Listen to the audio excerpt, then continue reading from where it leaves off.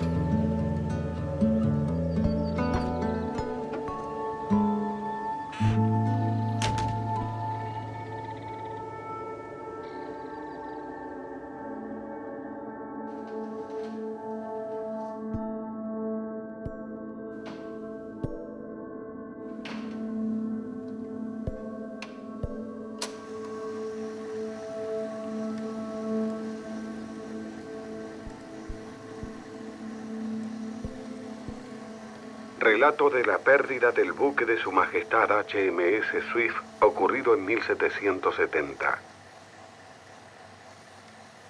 Nuestro buque integraba la escuadra de navíos apostada en Puerto Egmont, asentamiento establecido en las Islas Malvinas en 1765 por la corona británica. Este accidente ocurrió en el continente de Patagonia, cuya desolación por varios grados hacia el norte y hacia el sur de Puerto Deseado difícilmente pueda equipararse.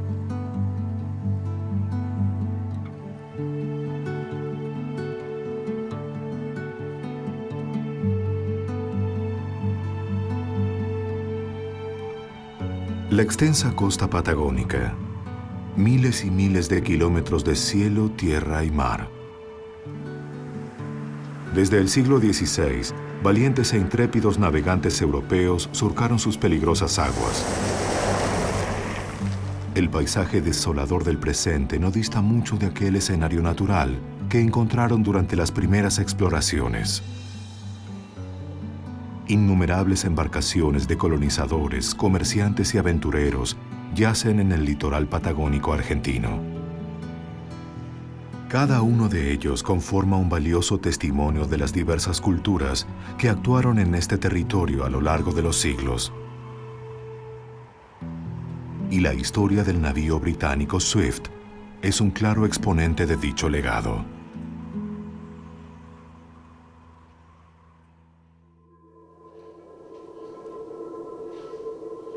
En la era de la navegación a vela, el dominio del mar era sinónimo de dominio del mundo. Hacia la segunda mitad del siglo XVIII, las principales potencias marítimas europeas buscaban afianzar su control sobre las rutas de navegación más importantes, entre ellas la del Atlántico Sur. En ese contexto, el archipiélago de Malvinas era considerado como un enclave estratégico por España, Francia e Inglaterra. En un relato escrito en 1803, el almirante Erasmus Gower, quien fuera teniente de la Swift en 1770, describe el suceso del naufragio y el calvario de los sobrevivientes basado en las anotaciones de su diario de época. Nuestro buque integraba la escuadra de navíos apostada en Puerto Egmont, asentamiento establecido en las Islas Malvinas en 1765 por la corona británica. La misión que nos fue encomendada era de vital importancia, puesto que debíamos reforzar la protección del asentamiento y defenderlo ante cualquier amenaza de la flota francesa o española. De igual forma, debíamos realizar el mayor número posible de relevamientos geográficos, dado que gran parte de las Islas Malvinas y las costas patagónicas permanecían inexploradas. En cumplimiento de nuestro deber y bajo las órdenes de nuestro capitán George Farmer, Zarpamos de Puerto Egmont el 7 de marzo de 1770. ninguno de nosotros era capaz de imaginar lo que acontecería pocos días después. Luego de la partida, enfrentamos varios días de clima adverso. Violentos y fuertes vientos del sur hicieron derivar nuestra nave hacia el continente.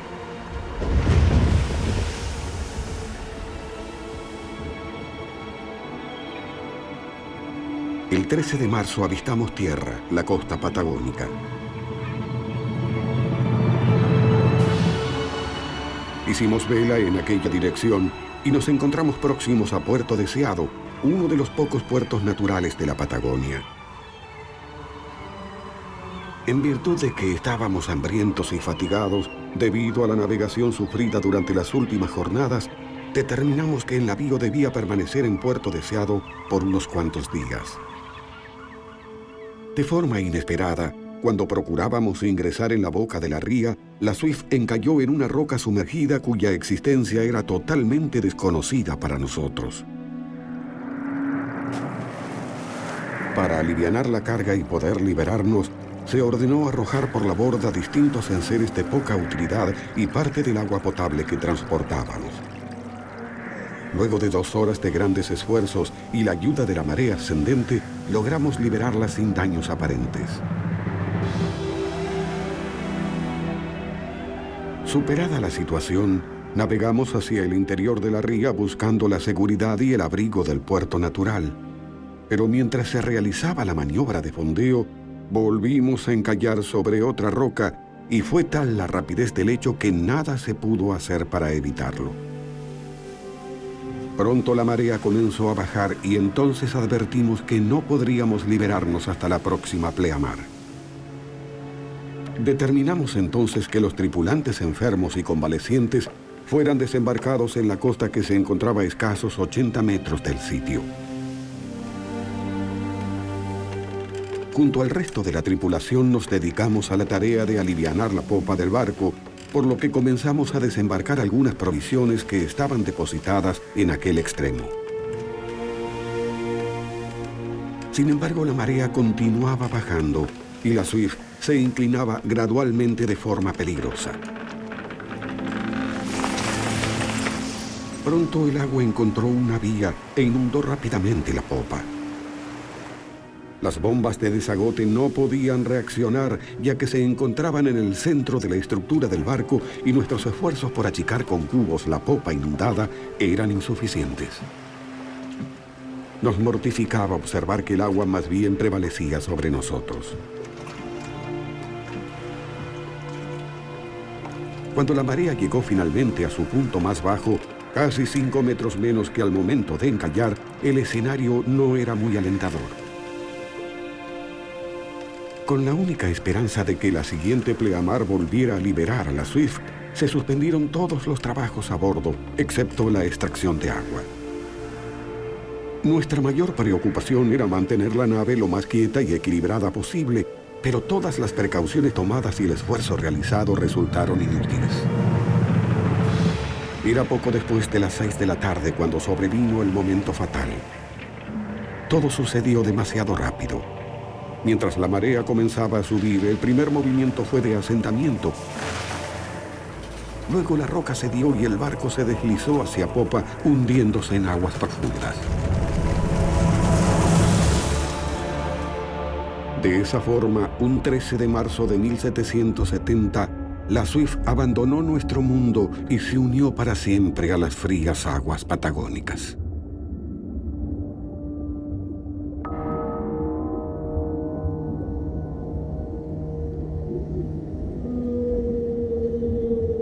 Recuerdo que por unos breves instantes me detuve a contemplar cómo los últimos restos de nuestro navío comenzaban a ser invadidos por las sombras de las profundidades.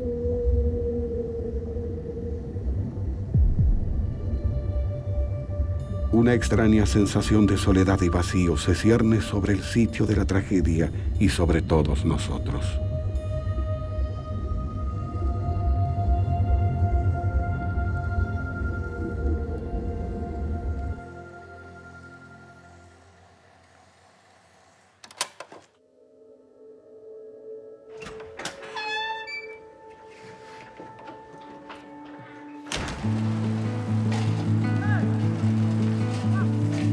Marcelo Rosas era un joven estudiante de Puerto Deseado y tenía apenas 16 años cuando su gran espíritu aventurero y una sensibilidad especial por la historia de su pueblo lo llevaron a interesarse en el naufragio de la Swift. Tiempo después empezó a escribir un diario de campaña con todos los hechos sucedidos durante la investigación.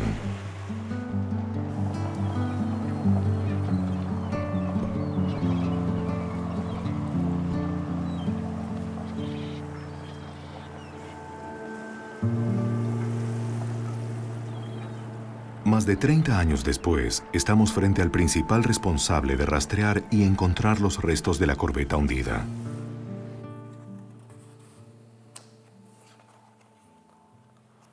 ...31 de marzo de 1984...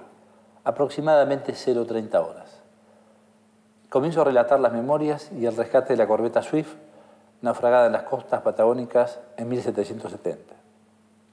En este momento mi edad es de 19 años cuando se descubrió el buque contaba con 17.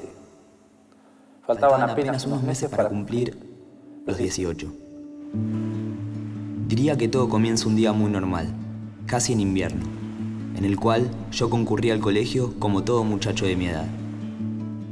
En esa mañana, en una clase de matemáticas, escucho las primeras noticias sobre la existencia de un barco hundido en Puerto Deseado. El primer día que escuché de la Swift fue en una clase de matemáticas, yo estaba en tercer año, y al sacarle el tema al profesor Locarnini, a Ricardo Locarnini, que, había, que era marino, era un marino, marino retirado, él empezó a hablar de barcos hundidos. Al hablar de barcos hundidos, empezó a referirse exactamente a la SWIFT, del cual yo no tenía noticias. Me llamó la atención que él dibujaba sobre el pizarrón y decía que el barco se había hundido muy cerca de la costa, que el barco era de 1770, realmente era muy interesante. Cuando termina la clase me apoyo sobre el marco de la puerta y esperé a que él pasara y le pregunto, profesor, ¿de dónde sacó eso? Y él me dice, anda a verlo a Caruso Robert. Esa misma tarde, el joven Rosas fue a visitar al señor Leandro Caruso Robert y le manifestó su inquietud acerca de la historia del barco. Caruso me cuenta, me da algunos indicios, me dice quién era, un australiano que había, había venido contando la historia de y él se levanta en algún momento de la charla y trae, para mi sorpresa, un grabador marca geloso, con carretes o cintas muy grandes que ya en esa época era algo desusado. A partir de ahí, después ya no recuerdo tanto, pero lo haber saludado y me fui a mi casa con esas cintas a escuchar. El señor Caruso Robert había tenido contacto con un visitante australiano quien traía consigo un libro con la historia de la Swift. Caruso hizo grabar el libro que había traído el viajero y conservaba la grabación en las cintas que le entregó a Marcelo Rosas. El joven Rosas soñaba que al escucharlas podría encontrar el sitio del hundimiento. Muchas dudas pasaban por su mente. ¿Quién era el visitante australiano? ¿Qué vino a buscar a Puerto Deseado? ¿Cómo consiguió ese relato?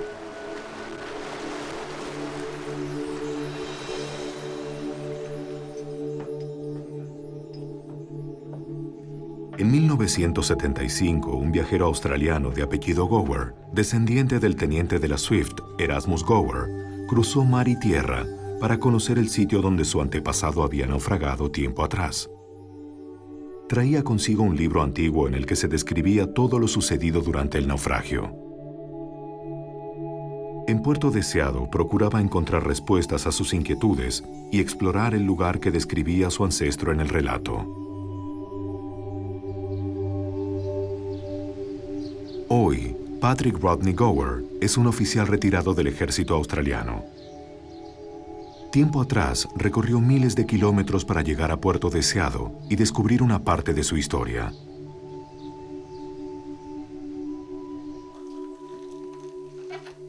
Más de tres décadas después, Patrick Gower revela cuáles fueron los motivos por los cuales comenzó a interesarse en su pasado familiar. Well, uh, I'd always known uh, very little about it uh, from my father.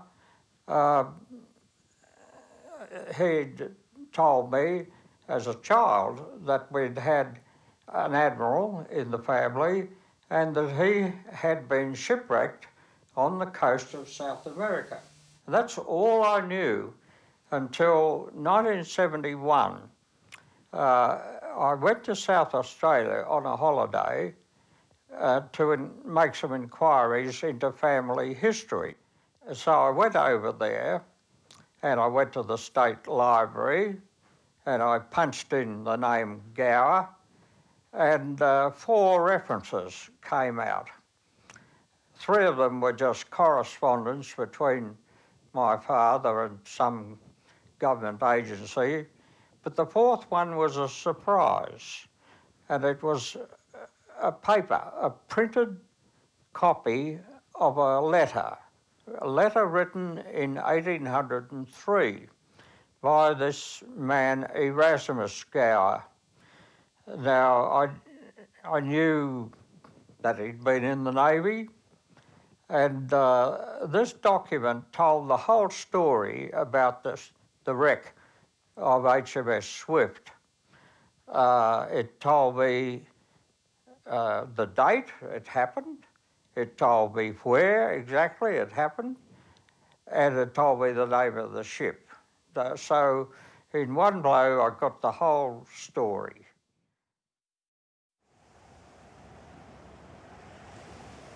Este accidente ocurrió en el continente de Patagonia, cuya desolación por varios grados hacia el norte y hacia el sur de Puerto Deseado difícilmente pueda equipararse.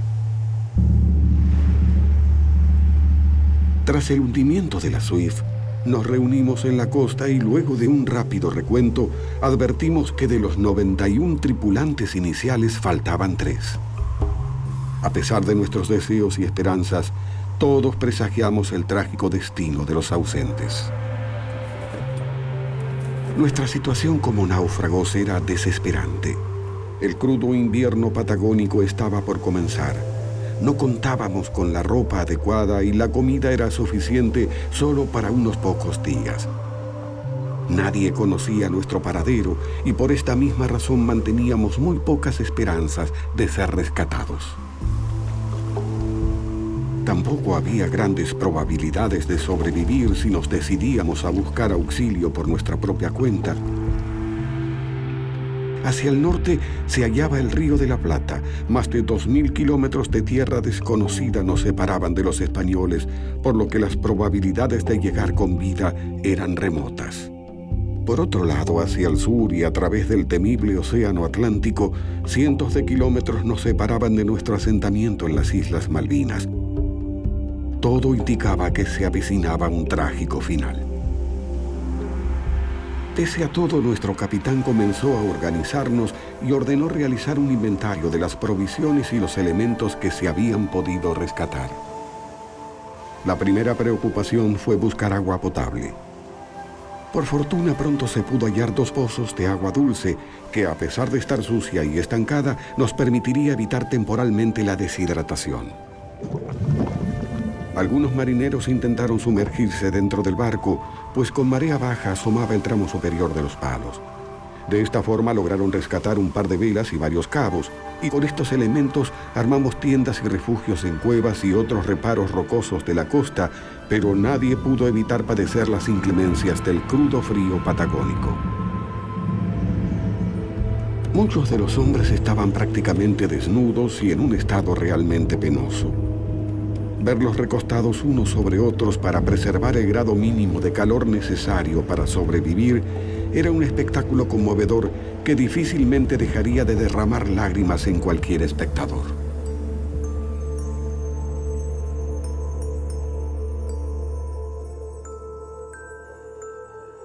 Uh, I found my way down to Puerto Deseado, but uh, what I found was that nobody knew that there was a shipwreck sitting on the bottom of their harbour.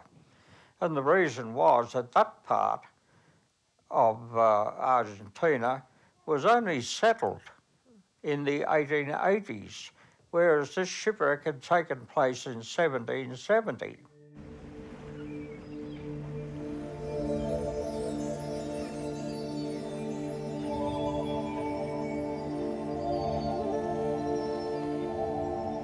Well, I remember walking along the shore at low tide to spot the two rocks on which the swift came to grief. At low tide, you could see these rocks, water breaking over them.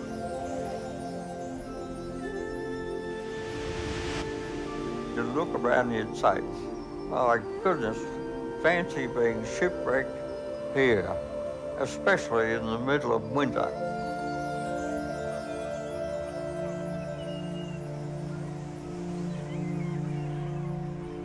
Tras sufrir varios días de penurias y conscientes de que en esas precarias condiciones no lograríamos sobrevivir mucho tiempo más, tomamos la audaz decisión de enviar un bote a las Islas Malvinas.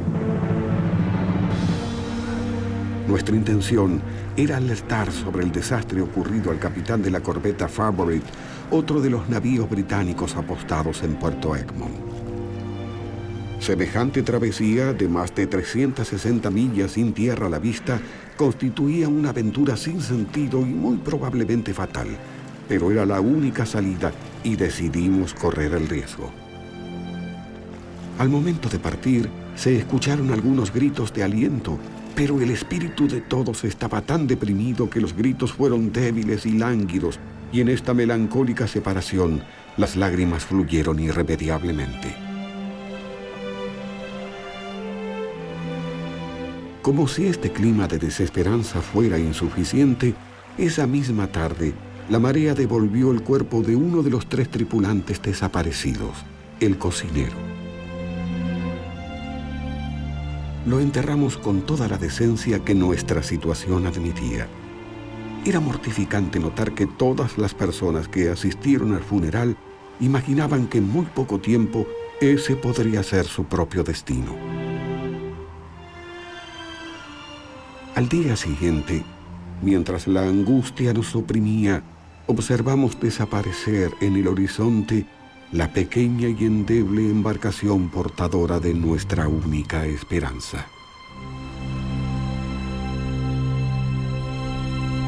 And uh, after they'd been there about a month, and uh, things weren't looking too good for them, uh, Erasmus volunteered to march out to the north uh, 1,000 miles to Buenos Aires to organise a rescue for them. Well, just in time before he set, out on that, uh, another ship from, came from the Falkland Islands and found them, and so they were rescued.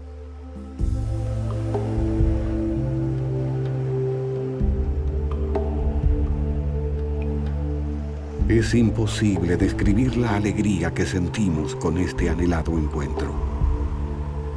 Era tal el poder de excitación que a varias personas que momentos antes no tenían la fuerza necesaria para abandonar sus lechos, se las podía ver ahora corriendo en todas direcciones con la mayor actividad y las más salvajes emociones de placer. El pequeño bote de remos con los siete tripulantes a bordo, había alcanzado con éxito su destino y posibilitaba así nuestro rescate.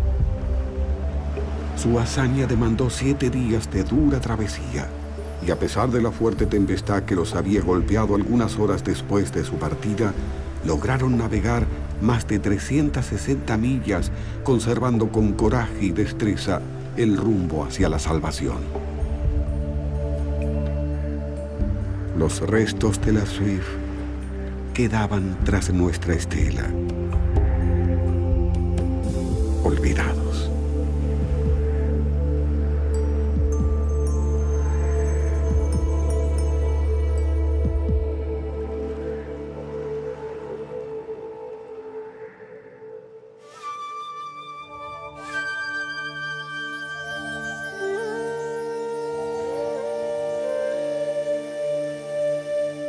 Patrick Gower regresó finalmente a Australia con cierta desilusión. El desconocimiento de la comunidad local acerca de la historia de la tragedia provocó que el viaje haya sido de alguna manera infructuoso para sus expectativas personales. Hasta ese momento no podía ser consciente de que el testimonio dejado allí por él serviría tiempo después para estimular los sueños y deseos del joven Marcelo Rosas.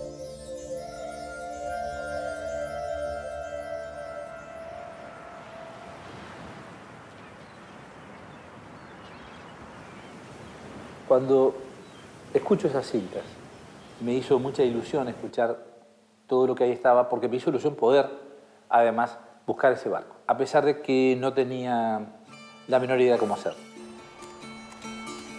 Comencé a averiguar por mi cuenta, traté de ir a bibliotecas, traté de hablar con los pobladores y así se inició una labor de investigación. Me dirigí a la municipalidad, pero nadie sabía nada, ni tampoco tenían copia alguna del relato dejado por el australiano Gower.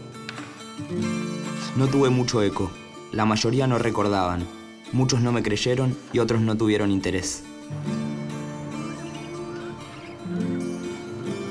Tiempo después, Marcelo Rosas decide buscar ayuda y fue a visitar al capitán Oliva Day, quien era un marino de mucha experiencia y conocía esas aguas como pocos.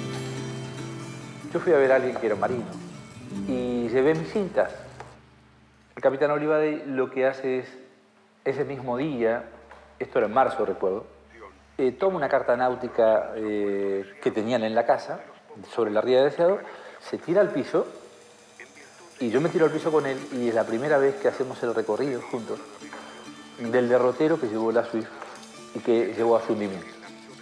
Y él me explica con un lapicito, mm, escuchando las cintas, cómo creía que pudo haber sido esa entrada que tuvo la Swift. De ahí en más, él me da las pautas, yo le pregunto cómo hacer para buscar este barco, me da las pautas y ahí empieza otra historia de ella. El capitán Oliva Day le sugirió formar una comisión tener un respaldo de un club e informar al Museo Naval de la Nación. Marcelo Rosas contaba para esa época con entrenamiento de buceo y también algunos de sus amigos a quienes finalmente decide confesarles su intención. Al primero que se lo comenté fue a Mario Brosowski. Mario Brosowski vivía frente a la casa donde yo estaba. Mario era la persona que me enseñaba a bucear y además era un buzo de profesión. A Mario la idea le pareció, no le pareció una locura, le pareció bueno y nos proponemos empezar eh, a investigar y a buscar más gente para trabajar con nosotros. De esta manera se formó una comisión integrada por varias personas. Mario Brosowski, Maco Keles, Carlos Santi, el hijo del capitán Oliva Day, Daniel Guillén, Rubén Puschel y Marcelo Rosas. Nosotros no teníamos nada, teníamos esas cintas y por lo tanto lo que se hacía se hacía a pulmón, buscando referencias, preguntando. Cuando Gower hace el relato, cuenta una playa de Pedregullo. Chocolate por la noticia, toda la Patagonia tiene casi playas de Pedregullo. Una roca tipo rampa cerca de la costa. Hay 200. Eh, pero lógicamente el secreto estaba en las medidas. Durante el invierno de 1981, contando ya con el respaldo del Museo Naval de la Nación y del Club Náutico local, Marcelo Rosas y Mario Brosowski deciden utilizar todos los frutos de las investigaciones realizadas y comenzar a bucear para intentar hallar los restos de la Swift. Adelantado ya en nuestra búsqueda, decidimos hacer una primera inmersión. Ese día en pleno invierno hacía mucho frío. Mario hace un reconocimiento del suelo y el terreno era de fango. Trato de bajar lo más que puedo. La visibilidad era nula y el frío intenso. No encontramos nada. Nos encontramos muy cerca del lugar, pero no era el preciso. Esa fue nuestra primera inmersión. Varios meses después, todas las tareas de investigación habían cesado y el ánimo y entusiasmo de los jóvenes había decaído. Fue en el verano de 1982 cuando Marcelo Rosas y Daniel Guillén deciden reanudar la búsqueda y realizar una segunda inmersión. Nos ponemos en campaña para cargar nuestros tubos y dirigirnos a un lugar. Una roca plana que se descubría con la marea. Hace unos meses que venía observándola. Esa roca estaba muy cerca de la costa. Pudimos llegar caminando, cosa que nunca más en mi vida pude llegar a hacer. A partir de ahí con Guillén nos sumergimos y como no se veía nada, nos agarramos de la mano para no perdernos. En algún momento lo miro y él saca un cuchillo de la pierna derecha y punza algo, se levanta un poco de tierra, me, me hace con la cabeza el signo no. Me encogí de hombros, seguimos buceando, pero más hacia la izquierda, de donde estábamos. Y avanzando, yo no sé en qué cuestión de cuánto, pero fue muy rápido, encontramos entre brumas las astillas, los palos del barco que, que recorremos y desde ya ahí nos quedamos petrificados.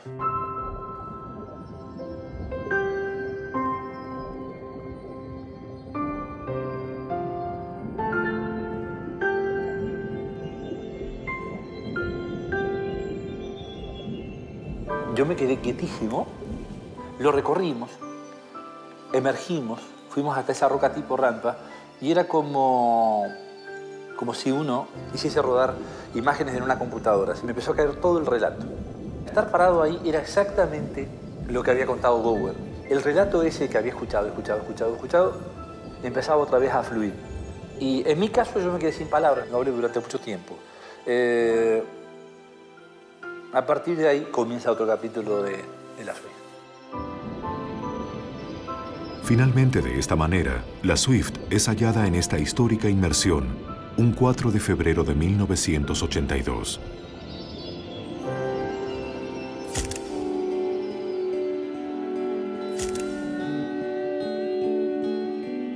Al momento de hallar el naufragio, Guillén y Rosa se encontraban solos. Nadie los acompañaba. Cuando finalmente la noticia del hallazgo se hace pública, la emoción de los demás integrantes de la comisión es inmensa. Pronto llegan las felicitaciones y los primeros reportajes. Marcelo Rosas habló en una conferencia de prensa junto al director del Museo Naval de la Nación, quien con su autoridad y teniendo en sus manos el resultado de los estudios realizados a las primeras piezas extraídas, afirmó que efectivamente se había hallado el naufragio de la Swift. La conferencia tuvo gran repercusión y la noticia corrió por todo el país.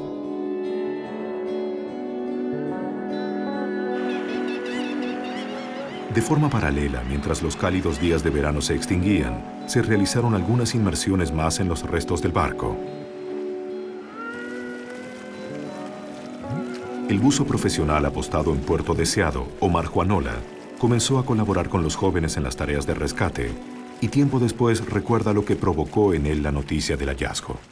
Una alegría por el trabajo que estaban haciendo estos chicos, porque eh, no te olvides que eran unos chicos, eh, tanto Marcelo como Mario, Chiche apoyando atrás este, con la historia, toda la familia detrás, el club náutico. Entonces eh, fue una gran alegría de, de que haya sido descubierta, ¿no?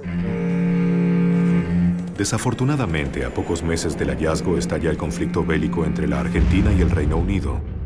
La lucha por la soberanía de las islas del Atlántico Sur provoca que las tareas de rescate de los jóvenes se suspendan y que Omar Juanola viaje hasta el centro del conflicto para realizar tareas de buceo. Desde su primera ocupación en 1763 por parte de los franceses, las Islas Malvinas han sido constante motivo de conflicto. Primero entre el Reino Unido, Francia y España, y luego entre el Reino Unido y la Argentina. En cierta forma y en una extraña casualidad histórica, el navío Swift se encuentra vinculado a ambos periodos históricos de forma particular. En 1770, la pérdida de esta nave debilitó las defensas del asentamiento británico en las Islas Malvinas. En consecuencia y tras una breve batalla, una flota española de cinco fragatas provenientes del destacamento de Montevideo en el Río de la Plata tomó posesión del archipiélago y expulsó a los británicos que se hallaban en Puerto Egmont. Entre ellos se encontraban los sobrevivientes del naufragio de la Swift. Luego, en 1982, y tras estar perdida por más de 200 años, es finalmente hallada y resurge en la historia. Y como un capricho del destino, un nuevo conflicto armado surge entre dos naciones.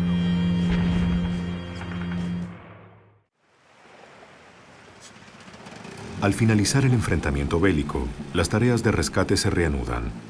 Omar Juanola vuelve a bucear en la Swift y junto al grupo de jóvenes que iniciaron la búsqueda, comienzan a extraer distintas piezas y artefactos del barco. Aparecen vajillas muchas, platos, hay un plato grande que parece que tuviese dibujo árabe, pero son líneas. Mario un día saca una vasija de porcelana que está llena de barro y limpiando la mitad de la vasija era pimienta en grano, estaba perfecta. Porque lo primero que hace es probar la pimienta si, si es buena, muy, era, estaba perfecta. Marcos Oliva Day formaba parte del grupo de buzos que habitualmente se sumergía para recuperar objetos y piezas de la Swift. Un día, por ejemplo, en que no se veía prácticamente nada, con Mario Brosowski y Omar Juanola, o le toca a, a Omar encontrar la boca de algo que pensó que era un cañón, y cuando nos comenta a nosotros, bueno, decidimos tratar de sacarla con, con algún este, artefacto, entonces no tenemos mejor idea, justo a, Mario lo acompañó a su abuelo con su Fiat 600 y trae el crique, que es el gato del coche, lo metemos en la boca y lo atamos al pontón y nos vamos. Era en baja, así que con, a la tarde con la plea, cuando vemos colgando una ánfora tan grande de cerámica, Marco Ledán se agarraba la cabeza, incluso tenía esterilla. Se ve que era una ánfora que estaba contra el palo mayor, que era para tener agua fresca. Y bueno, así la cargamos en un velerito del Club Náutico y la llevamos a la costa y ahí creo que nos sacamos una foto.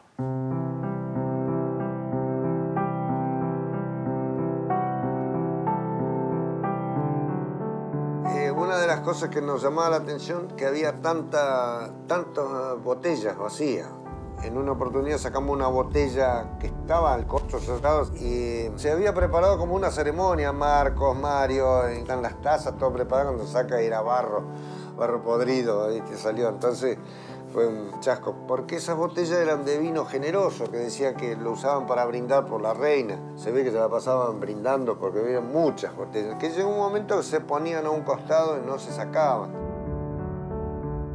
Y lo más grande, más grande que es encontrado, que lo encuentra Mario, yo estoy escarbando en el barro y por ahí me toca y con la poca visibilidad que había me muestra así el reloj de arena. Funcionaba perfectamente todo.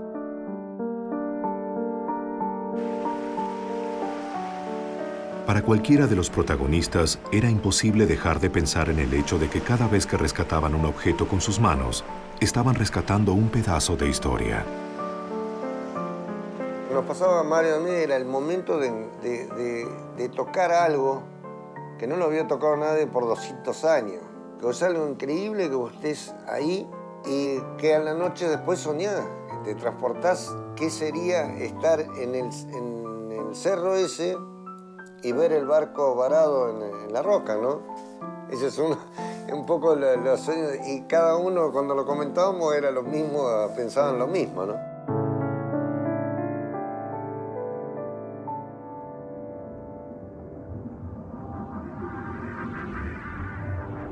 Durante el invierno de 1982, comienza una etapa de complicaciones, resentimientos y disputas entre algunos integrantes de la comisión. Todo se inicia cuando uno de los jóvenes del grupo realiza algunos buceos de forma solitaria sobre los restos del barco. Tras concluir sus inmersiones, viaja a Buenos Aires con la intención de tasar y aparentemente vender los elementos que logró extraer. Ningún otro compañero estaba al tanto de sus acciones, y esto se debe a que su actitud iba claramente en contra de lo que habían acordado desde un principio. El espíritu de la búsqueda siempre fue hacer un museo y había quedado más que claro. Eh, nunca se habló de algo para, para nosotros. Siempre fue así. Finalmente es el azar del destino el que logra impedir que cumpla su cometido, ya que de forma casual, el dueño de la casa de antigüedades que lo recibe resulta ser familiar de uno de los integrantes de la comisión, quien informa de inmediato la intención de este. Cuando finalmente el joven regresa a Puerto Deseado, se defiende ante sus compañeros, argumentando que su única intención era conocer los valores de las piezas. Empezaron a jugar sentimientos personales, egoísmos y ambiciones. comenzamos a mostrarnos como somos, cada uno con sus defectos. Más allá del argumento que manifestó el joven frente a sus compañeros, poco tiempo después inicia una demanda contra el Estado Nacional, reclamando el derecho sobre los restos del barco. Solo el fallo de la Corte Suprema de Justicia de la Nación logra convencerlo de que no era propietario de los artefactos rescatados ni del naufragio en sí.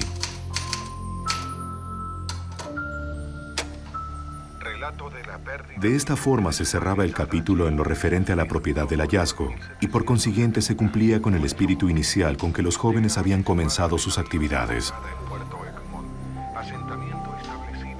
A pesar de ser uno de los protagonistas del hallazgo, Marcelo Rosas sintió una extraña sensación que lo llevó a discontinuar sus inmersiones en el sitio del naufragio. Volví a bucear a la Swift por segunda vez, solo por pedido de Mario, por pedido de Mario. En realidad mi idea no era volver más a bucear. Y dado que en la primera inmersión sentí algo raro, un presentimiento que tengo hoy día de no querer volver. Lo hice Estuve encantado, pero no volví a hacerlo nunca más. Los presentimientos no tienen explicaciones, pero es algo que todavía tengo, no quise volver más. De hecho, no lo voy a hacer tampoco. O sea, yo a la Swift solamente la recuerdo, nada más.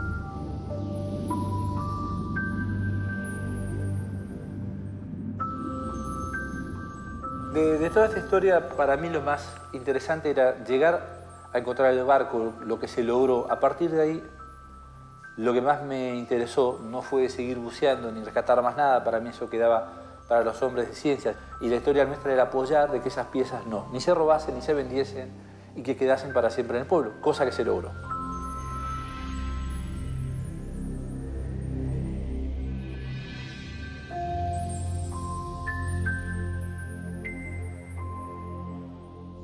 Hacia finales de 1982, el gobierno de Santa Cruz declara los restos de la SWIFT de interés histórico y los incorpora por decreto al patrimonio cultural de la provincia.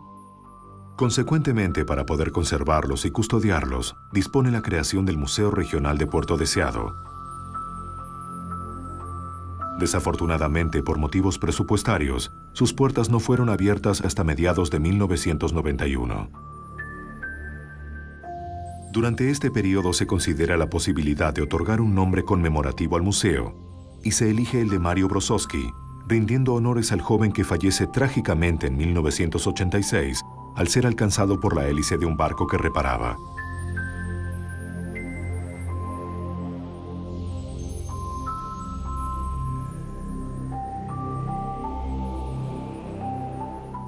Mientras tanto, la principal preocupación de los encargados de la dirección del museo seguía siendo la misma, proteger el sitio arqueológico y darle continuidad a las tareas de relevamiento y rescate.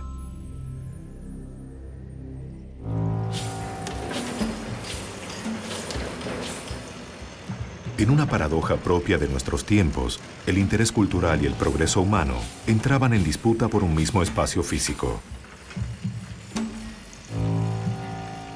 En este caso, el sitio arqueológico se encontraba en un grave peligro por las obras de remodelación proyectadas para el puerto pesquero de la ciudad.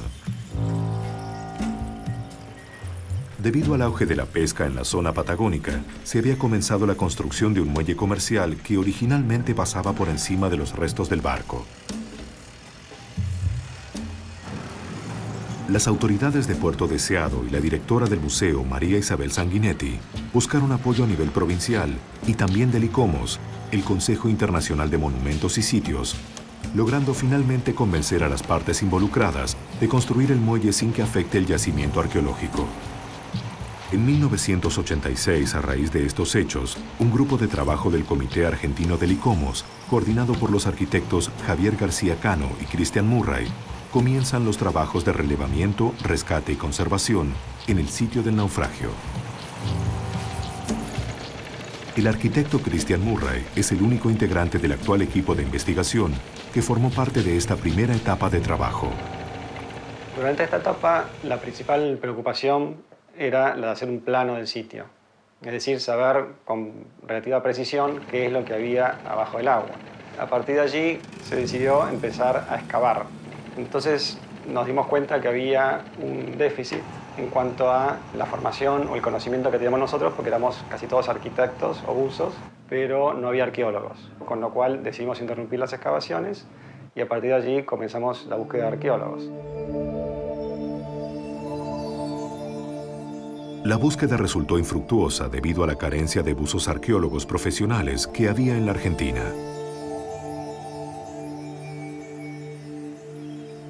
Tuvieron que transcurrir varios años hasta que finalmente se creó el primer programa de arqueología subacuática dedicado a la investigación y preservación del patrimonio cultural subacuático argentino.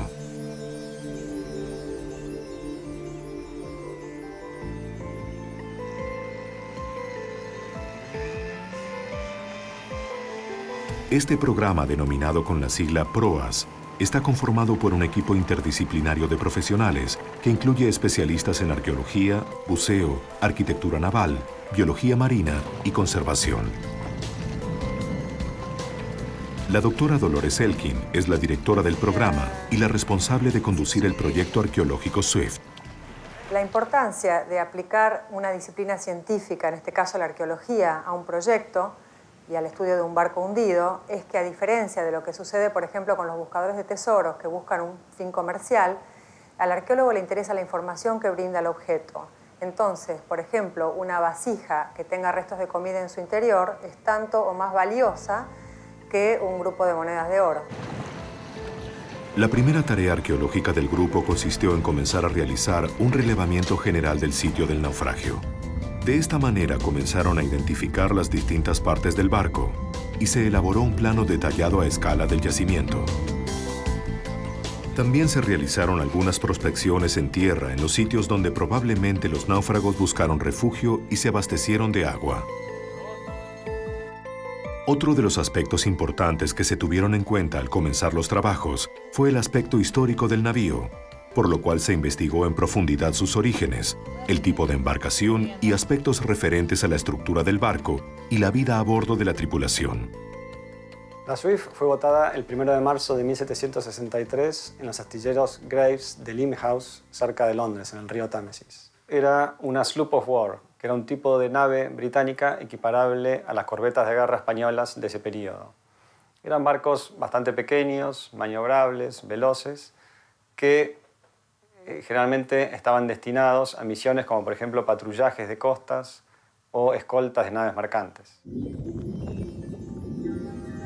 Al estudiar los restos de la Swift, los arqueólogos observaron que había ciertas diferencias entre los planos británicos originales y la estructura hallada bajo el agua. Por ejemplo, las cubiertas, en el caso de la cubierta de popa o la cubierta inferior, estaban más elevadas o eran más, más grandes de lo que indicaban los planos.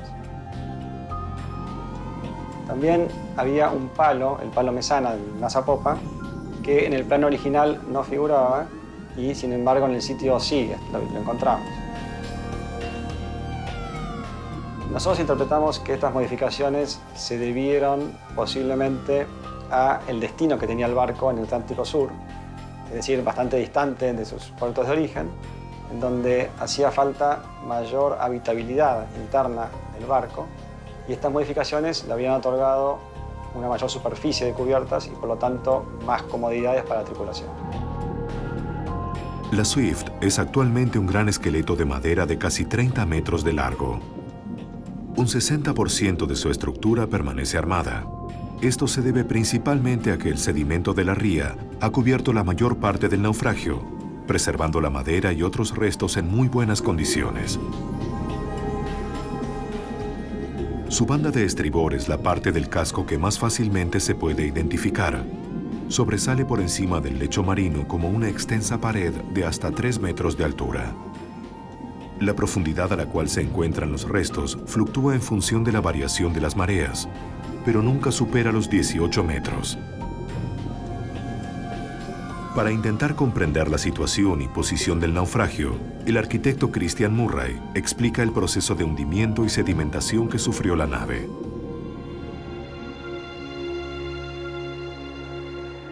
La Swift encalló primero de proa contra la roca con marea alta. Esto ocurrió accidentalmente ya que la roca se encontraba totalmente sumergida al momento de encallar. Después, a medida que iba bajando la marea, el barco se fue inclinando hacia atrás, acompañando el nivel del agua, pero todavía apoyado sobre la roca. Luego se liberó y se deslizó hacia popa, y finalmente se inclinó hacia el costado izquierdo y terminó hundiéndose. Con el paso del tiempo y la acción del medio ambiente marino, los restos del barco se fueron cubriendo de sedimento y se fueron degradando, especialmente las partes más altas y más expuestas, hasta quedar como lo vemos hoy en día bajo el agua.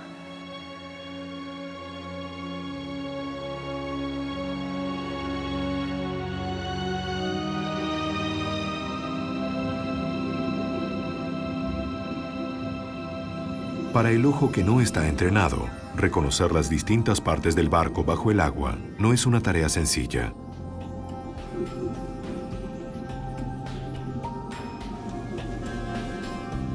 Cañones,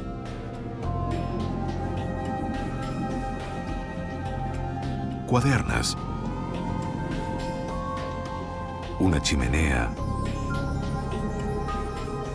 la bomba de agua, y distintas partes y elementos de la estructura del barco se encuentran dispersos a lo largo del naufragio. Pese a que los restos de la Swift yacen hace más de dos siglos bajo el mar, científicos del mundo coinciden en que su estado de conservación es notable y califican al sitio arqueológico como una de las corbetas del siglo XVIII mejor conservadas en el mundo. Esto se debe a que el sitio del hundimiento presenta características muy favorables para su conservación. Por un lado, la baja temperatura del agua y por otro, y fundamentalmente, las características del sedimento, ya que se trata de un sedimento de partículas muy finas que son arrastradas habitualmente por las corrientes y se van depositando en el sitio y de este modo lo han cubierto en una forma relativamente rápida desde su hundimiento. Este sedimento mantiene condiciones muy reducidas de oxígeno, lo cual limita el desarrollo de formas de vida, ya que los organismos son una importante causa de deterioro de los restos, especialmente los orgánicos. De este modo en la SWIFT podemos contar con una variedad de elementos orgánicos como semillas, gran cantidad de madera obviamente, cabos, restos de alimentos o comidas, entre otros ejemplos.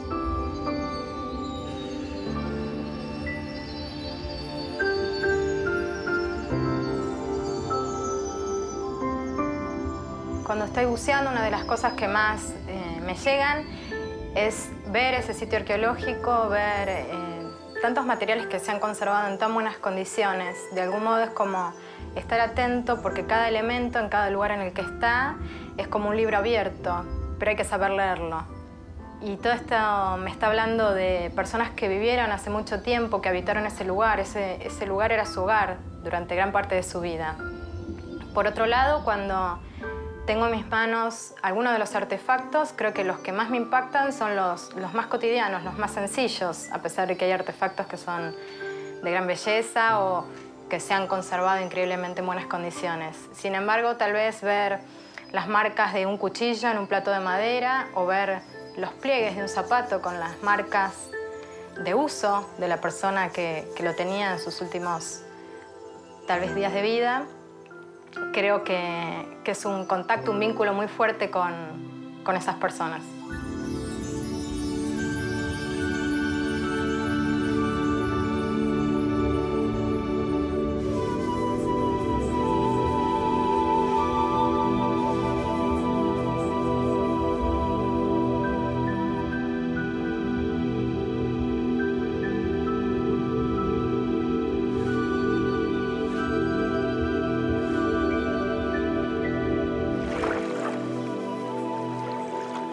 Nuestro trabajo implica recuperar objetos, extraerlos del lugar donde están para interpretarlos, para aprender de ellos.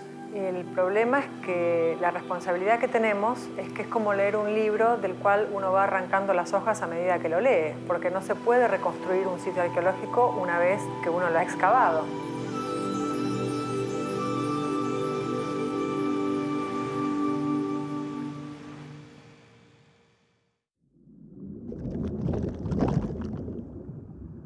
Durante varios años, el equipo de investigación del PROAS ha rescatado numerosos e invalorables elementos y piezas del naufragio. Pero la Swift les tenía reservado un hallazgo diferente, algo mucho más valioso. En la campaña arqueológica de finales del año 2005, el grupo de arqueólogos se hallaba excavando en la zona de la cabina del capitán. Distintos artefactos y elementos se iban presentando en la grilla de excavación a medida que las tareas progresaban. Nadie imaginaba que un hallazgo increíble estaba por presentarse. Los arqueólogos Argüeso y Weinstub fueron los principales protagonistas del hallazgo y juntos nos relatan las instancias del importante descubrimiento. En esa campaña estábamos excavando el sector de la cámara del capitán. Habíamos limpiado ya bastante un, sector de cubierta, algunos, algunos tabiques. Y bueno, excavando empezó a aparecer un zapato.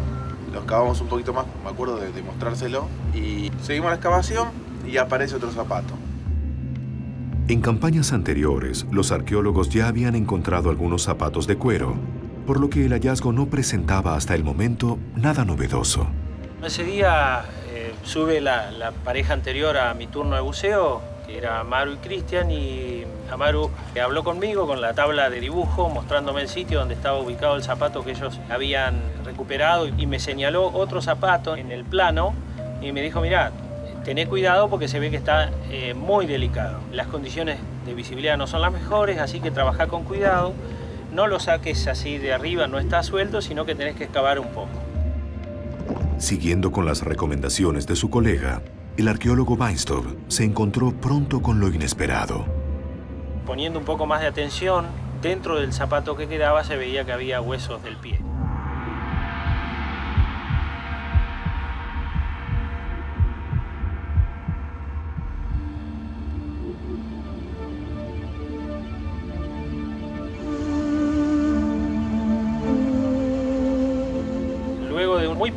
De excavar y comprobar efectivamente que se trataba de restos humanos, casi sin lugar a dudas, digamos, eh, yo decidí eh, parar la excavación, no continuar, porque consideraba que es un tema demasiado importante como para realizar esa excavación sin una reflexión incluso metodológica, ética o lo que fuera que tenía que consultar con mis compañeros.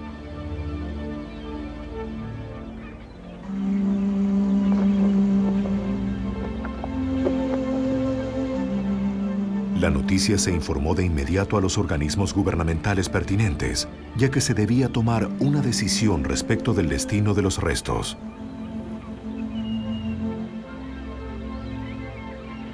A nivel internacional, algunos naufragios con restos humanos son declarados oficialmente como tumbas y por ende no se pueden continuar las tareas de excavación ni de ninguna otra índole. Sin embargo, este no fue el caso de la Swift, tal vez porque la muerte del soldado fue consecuencia del hundimiento accidental del barco y no producto de un acto de guerra.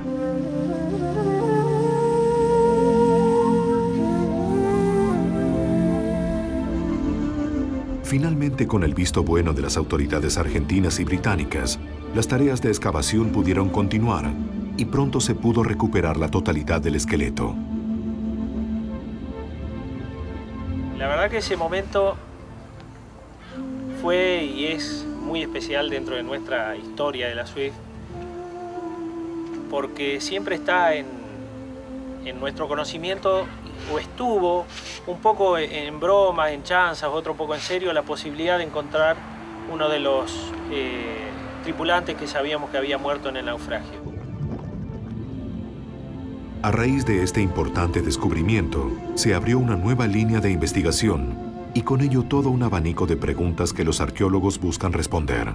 Según el relato de Erasmus Gower y de otros documentos de la época, en el naufragio desaparecieron tres personas y el cuerpo de uno de ellos, el del cocinero, apareció flotando en la playa a los pocos días. Quedarían entonces otras dos personas desaparecidas.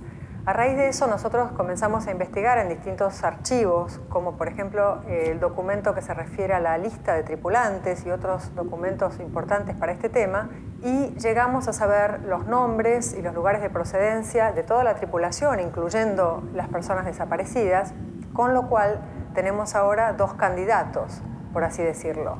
Entonces nuestro objetivo es tratar de determinar a cuál de esos dos pertenece el esqueleto que encontramos.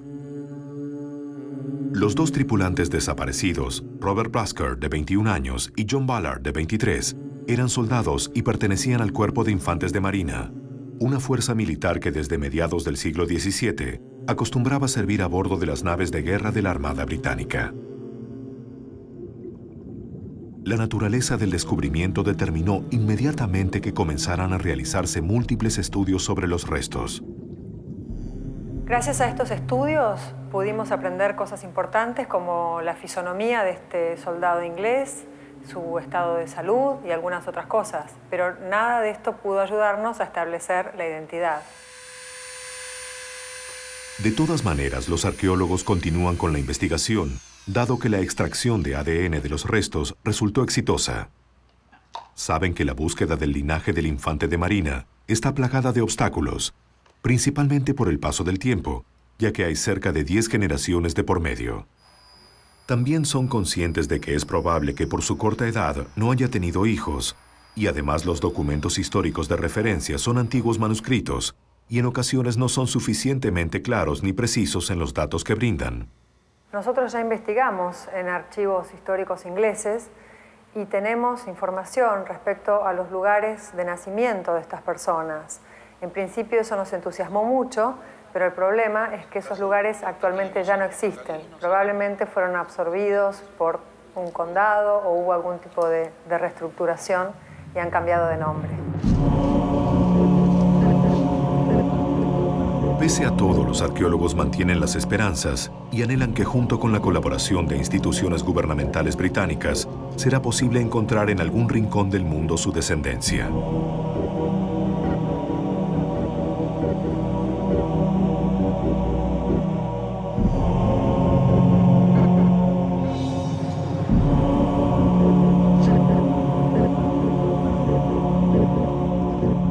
Basados en los resultados de los estudios y en el contexto material que rodeaba al esqueleto en el sitio de la excavación, los arqueólogos especulan y elaboran teorías acerca del motivo y la naturaleza de su muerte. Ante la ausencia de golpes u otros tipos de traumatismos que puedan haberle causado la muerte, nuestra hipótesis es que esta persona murió ahogada pero lamentablemente desde el punto de vista arqueológico eso no es demostrable, porque morirse ahogado es algo que no deja marcas, que no deja huellas en los huesos. La pregunta que nos planteamos ahora, teniendo en cuenta que la gran mayoría de la tripulación se salvó, es qué estaba haciendo esta persona en el momento del naufragio en donde se lo encontró y por qué se ahogó. Los arqueólogos siempre han basado gran parte de su investigación histórica en el antiguo relato de Erasmus Gower, y allí mismo encontraron claros indicios para comenzar a resolver las respuestas a sus interrogantes.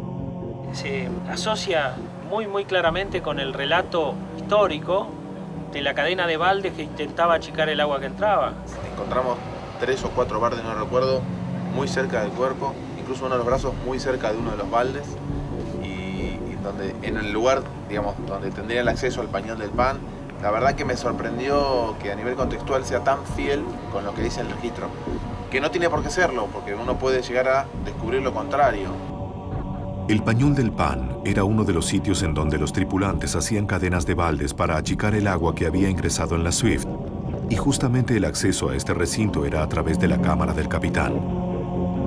La posición del cuerpo, la presencia de baldes, el relato. Todo comienza a cobrar sentido para los arqueólogos. No hay que olvidarse que, bastan tres inhalaciones de agua para perder el conocimiento. Independientemente de su, de su habilidad para nadar o no, que usualmente no la tenían, es muy fácil que una persona en ese lugar hubiera sufrido la misma suerte. Una gran masa de agua pudo haberlo eh, tomado en ese momento del naufragio que fue muy rápido, sin grandes traumatismos para el barco, digamos. Pensemos que en muy pocos minutos el barco se dio, fue, y el, ingreso de agua, la presión de agua de entrada por, los camarotes, por las puertas, es muy fuerte. Puede haberlo golpeado.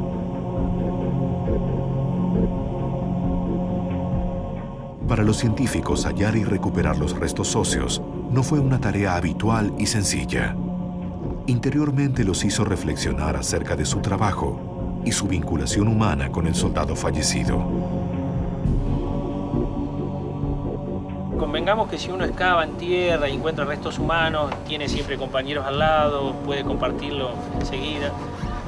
Pero encontrar restos humanos bajo el agua, que sabes que corresponden a un tripulante que se ahogó en un naufragio y estando solo o con un solo compañero buceo con el cual no podés hablar en lo inmediato, este, es una idea bastante fuerte. En cuanto al destino de los restos del soldado inglés, estos fueron finalmente enterrados con honores militares en marzo de 2007 en el cementerio británico de la Chacarita.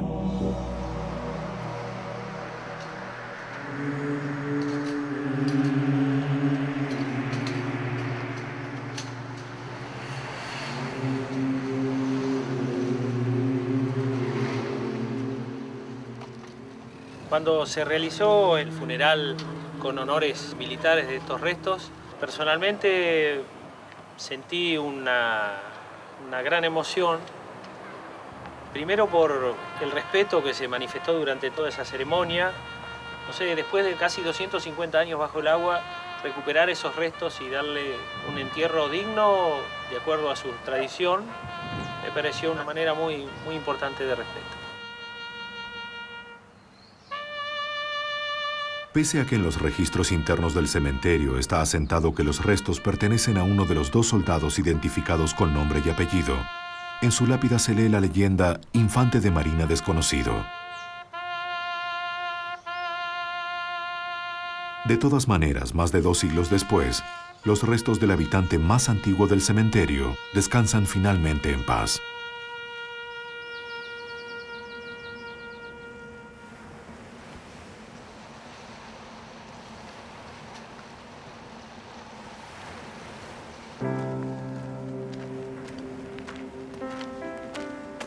Pesar de estar ligados a la Swift de forma personal, como los iniciadores de su historia contemporánea, Marcelo Rosas y Patrick Gower aún no se han podido conocer personalmente.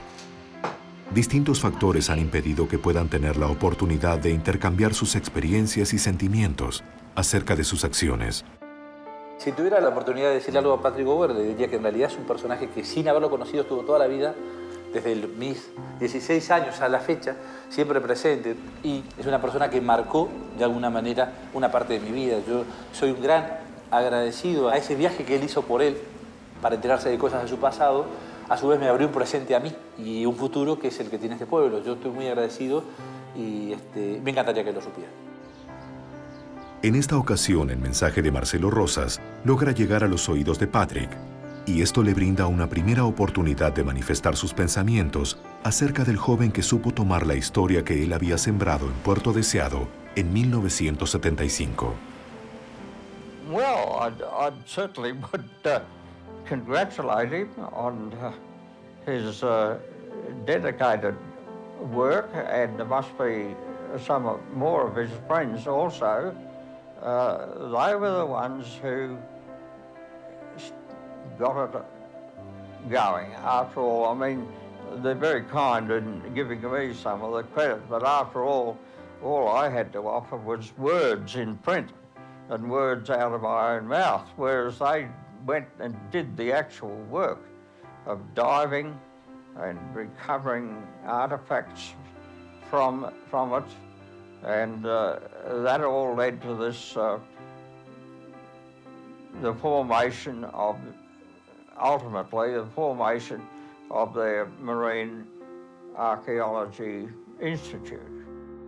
So I'd love to go back there and see what's, what they've made of it. It's just uh, the years are creeping up on me. In earlier days uh, would have been nothing, but it's uh, more difficult now.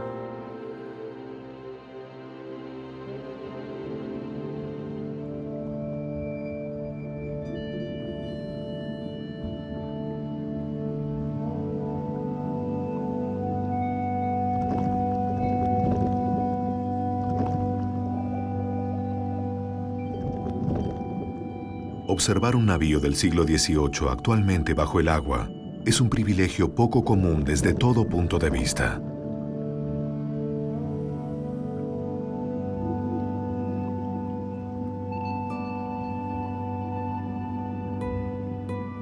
el sitio representa una especie de cápsula del tiempo, y quienes logran bucear entre sus restos se transportan de forma momentánea a un instante concreto del pasado, un pasado de hace más de 200 años.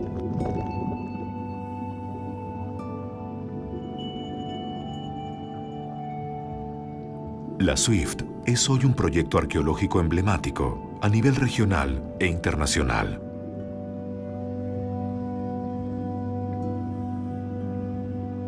Claramente ejemplifica el espíritu y los principios establecidos en la Convención de la UNESCO para la protección del patrimonio cultural subacuático mundial.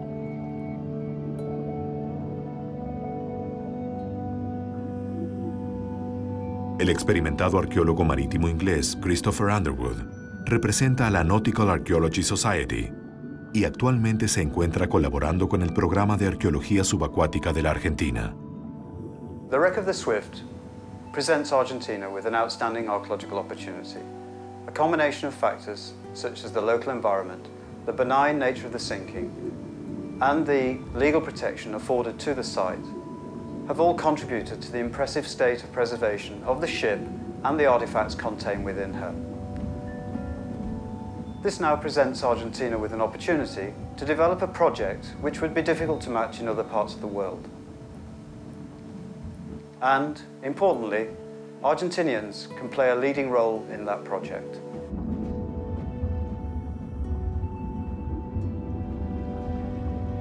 Nuestro patrimonio cultural está formado por este tipo de cosas.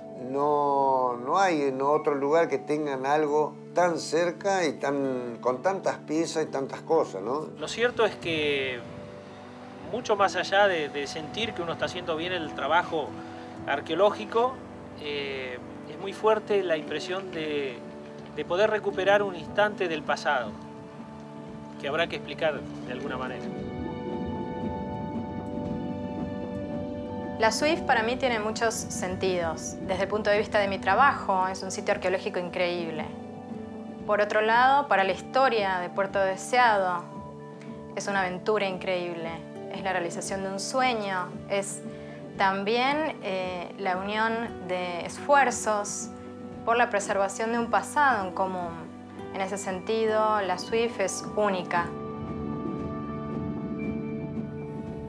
Cuando me sumerjo en el sitio y cuando comienzo a bucear recorriendo estos restos, eh, siento una conexión especial con la historia de los marinos y los tripulantes que navegaron este barco. A nivel profesional, por supuesto, fue, yo creo, la experiencia más importante de mi vida, más allá de lo que yo haga de ahora en adelante. Creo que nada va a poder compararse a, haber tenido el privilegio de trabajar en un sitio tan espectacular como la Corbeta Swift. Y el hecho de tener un barco que es de los mejor conservados del siglo XVIII nos llena de orgullos a todos. ¿Qué significa para mí la Swift? Para mí es, eh, es el sueño cumplido, es, además es el haber perseverado en algo y haberlo logrado. Y haber participado en un pequeño granito para mí es, la Swift significa orgullo, significa eh, haber cumplido con algo, también significa el cumplimiento de un sueño particularmente.